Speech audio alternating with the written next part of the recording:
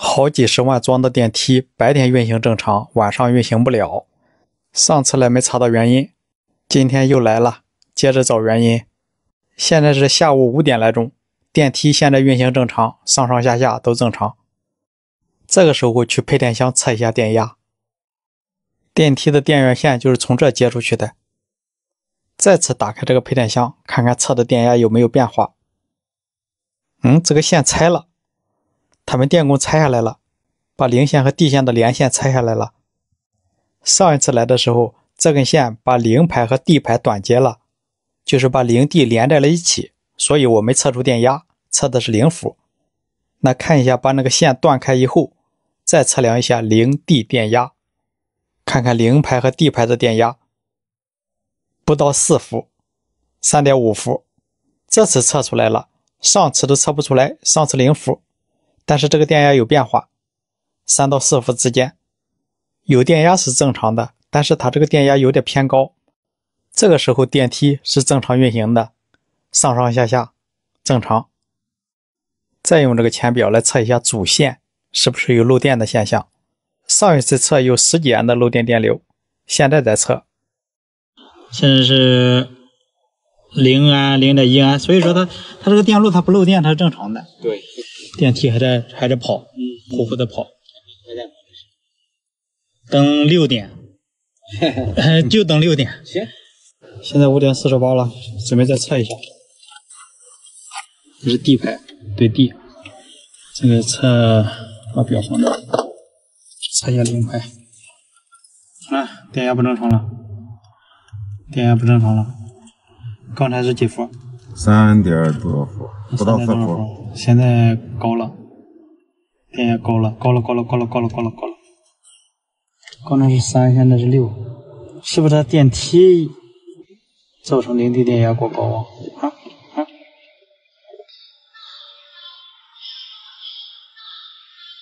这电压的变化。这就电梯在转吗？电梯不动了。嗯呢。电梯不动了是吧？从零地电压是电梯引起的吗？可以把电电梯拉下闸，它上面断电就行了。可以断电了是吧？可以了。啊，好。下面断电是啥？嗯。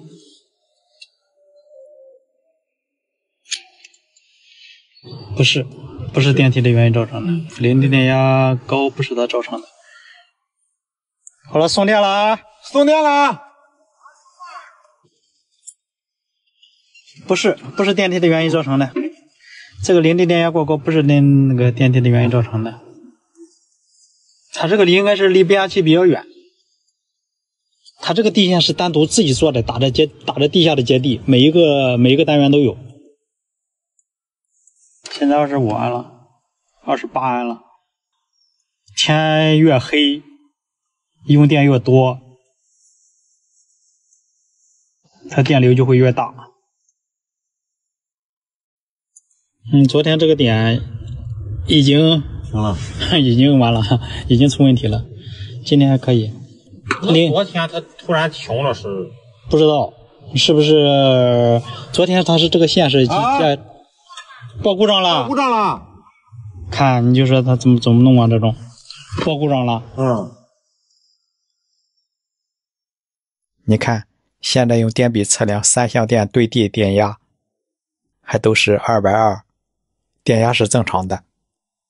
现在我觉得唯一不正常的就是它的零地电压，一会高一会低。你说咱手里没有精密的设备，咱也测不了其他的电能，只能测一下零地电压。您说下一步该怎么排查呢？怎么弄啊？电梯报故障就是直接用不了。他这个有人怀疑是电梯有问题，因为别的楼座也有电梯，那些都运行正常。那就去看一下那一台电梯。啊，这里有个电梯。人这个电梯安装的时间早，一直都好用，没出过问题。那就测一下这个单元的零地电压正不正常？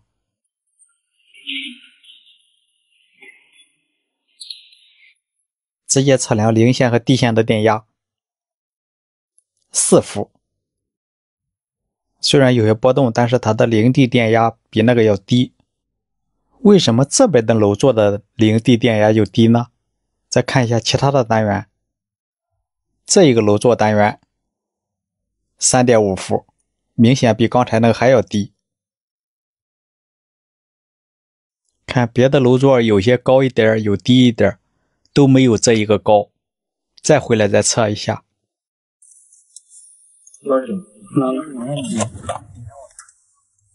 看吧，拉掉电梯以后零地电压，十伏十余伏打不住了都，十伏往上了。就是所以说不该它和它电梯没有关系，不知道是是哪个地方在用电导致零地电压过高。那要不就哎呀拉一下试试，你这这拉一拉一下试试，你知道不啦？嗯，我一我我一路一路给你让让再看一下。你等会我我怼着我怼着。嗯。诶你凉着凉着哎呦不知道送送送送送送送送。诶送。嗯好。ok 这个没关系。你楼道没关系是吧嗯跟你楼没关系。呀和我猜测的一样。如果它漏电的话它会出现这样的情况但是每个楼道它有漏电保护器。对。这边零地电压高，那这个楼座呢？测一下它二边的这个这个单元，看一下。这点上面吃饭呢，饿了都。饿哎呀，我我我饿了都。零下零地没有啊？没有吧？零地没有电压。呃，零地没有电压，但是它不是在外头又短接了，在外头短接了，他们呢。这个这个整整栋楼一二三单元都不正常，零地电压十伏以上。这边是三伏四伏。这个这个这个离变压器近，可以测一下这个。你看这一个，这一个单元在变压器旁边，它零地有很小的电压。我我是不是钻牛角尖了？电梯不工作，我测零地电压是不是对的呢？嗯，这个零地电压对这个电梯工作有影响吗？所以说有点钻牛角尖了。令我很疑惑的是，有些楼座离的变压器很远，零地没有电压；有的离得近，零地没有电压；有的有电压。小区是个老小区，内部的电路比较复杂。虽然有物业师傅的全力配合，但是，对吧？事儿多，有些电路你不能动，也动不了。那今晚就这样吧，测吧，回去路上一个半小时。就就这个楼座都是师傅，就是目前来说只能给你测到这一步了。明天去变压器看一看。好了，今天先这样了，下一步有新的进展，我会及时的给大家分享，也请大家在评论区多多指点。感谢您的观看。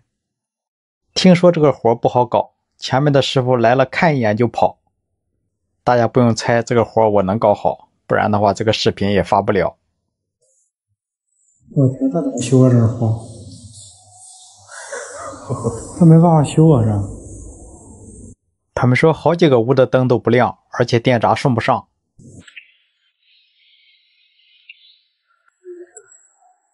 哎呀，这怎么修啊？这种这没法修。黑不隆咚。先去测一下吧，看看什么情况。小姐姐把门一开，检修开始。就是那个掰下来的那个。你你先等一下啊，现在你先别动它，我看一眼。就就那个，刚起开关。就是那个上面第三个这个。啊，老是跳呀。对，现在这边又没电了。又没电了。多长时间一跳？上午那个人来检查的时候没检查出来。啊，上午来人检查了。今天你干我看。嗯，这等你直接测漏电，我估计是漏电的。嗯，啊，怎么样？漏电。嗯，啊，这个就是配电线外壳。啊，怎么样？漏电吗？哎呀，这都不用拆。嗯，漏电，这个漏电空开它也跳。不挡不挡路。嗯。就是漏电，漏电空开它也跳。对外壳，你测测那个能不能对外壳再再再这么测乘一档测，就是就乘一档测。有一点儿，有一点儿，啊，有一点都不行，嗯，电就穿了。哼，就这种你都不好搞。能测一下哪个轻哪个重吗？这一个，漏电轻，漏电重。这两根线，啊。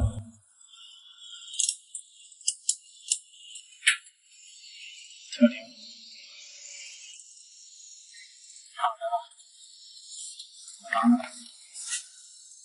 呃，对火线，对火线啊，好来零线。对零线，哎，火线严重，零线轻。嗯，零线轻，火线漏电严重。你这火线，哎，火线漏电严重。其实灵活一导它可以用，但是但是没办法的办法，尽量能给它找出来这个火线在哪地方漏电了。那提的吧。这种活没有好办法，要不你现在走，我现在不给你钱。像这种房顶电路有问题不好修，而且房间那么多，你都不知道哪个屋有问题，然后很多师傅看一眼不好修就走了。像这种，如果是灵火线给它一导以后会怎么样呢？那就把这个空开下面的灵火线一导，有的师傅会质疑，空开又不是漏保，为什么说下面的线路漏电它也跳？是因为如果火线对地漏电严重，火线对地放电，它的电流会很大，会导致空开跳闸。所以说漏电严重了，空开也跳。送下电。哎，不用怕。OK。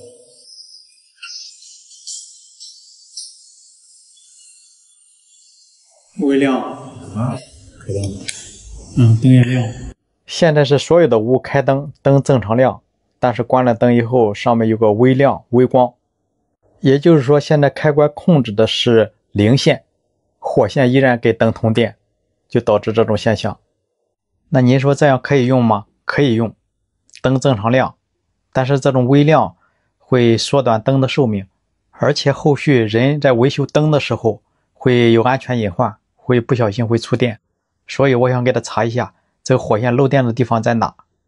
修灯电路麻烦就麻烦在它是房顶，而且房顶你上不去，查不了。所以说我说这个活不好搞，虽然很难搞，但是我们俩还是想碰一碰运气，万一搞好了呢，这一趟就不会白跑。弄不好啊，那电箱里边它有接头。啊不会在，他不会在桥架里边接的吧？啊，有可能哦。很有可能哦。哦，要不那边留这么些空开关没用啊。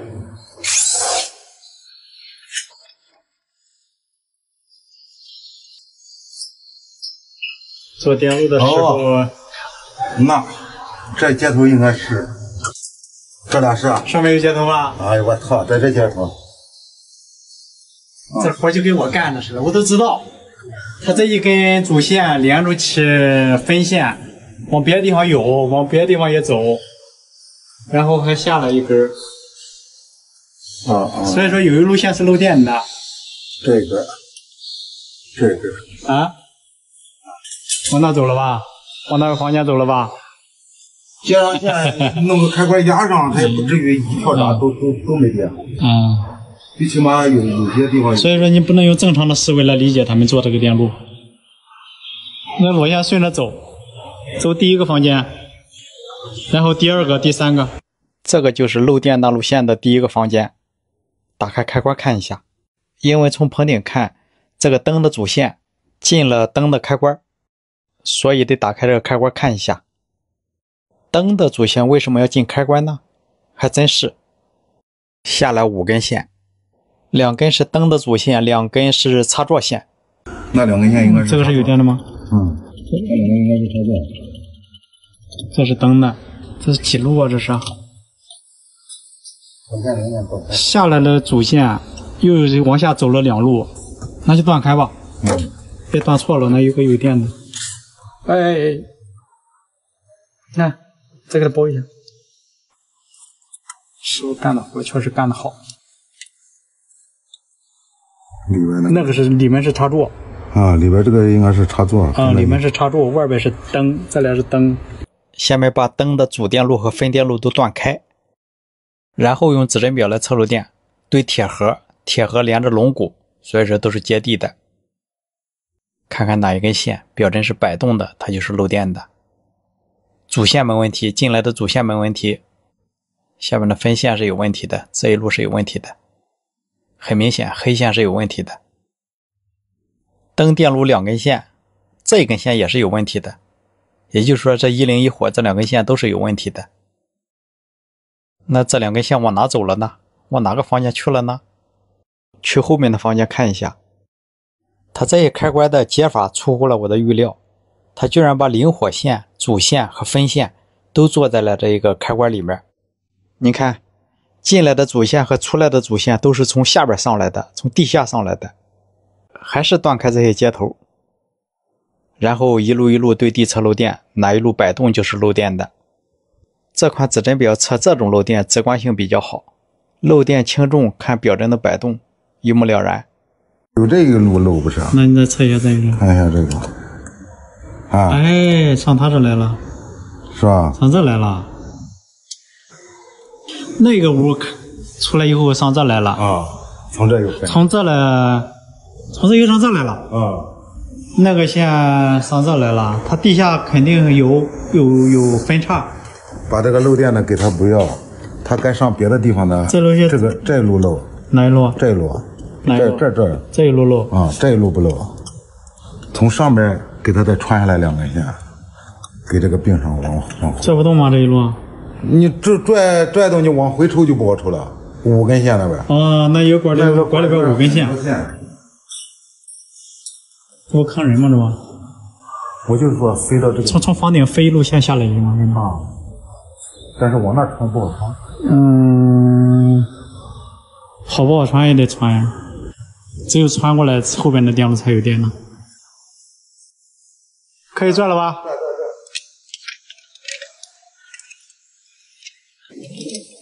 这么轻松，这么这么轻松就转下来了。OK OK OK OK OK，好嘞，好好好好好。了，这是一根火线，一个零线下来，正好接上就好，接上所有的屋都有电。啊，上面，嗯，这样从上面下来一路电源线，这个是灯的控线，然后下去两路，接到后边的屋，这一路线就废掉了，拽不动。这样把所有的电路都恢复，再测量灯的主线，基本上没问题了，可以送电。嗯，好嘞。OK，关了以后没有微亮了吧？都亮了，除了不亮的都亮了。OK，这样就修好了。这能修好也是运气好。好了，感谢你的观看。请多多指点。